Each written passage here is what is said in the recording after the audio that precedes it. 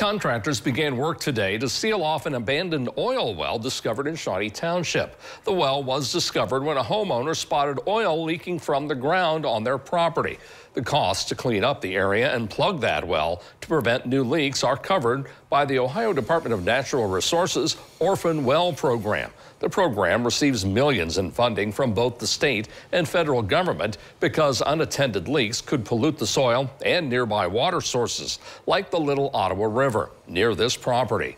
The crew expects to be done within a week or two, but if there are any unexpected problems or new leaks, it could take a few months.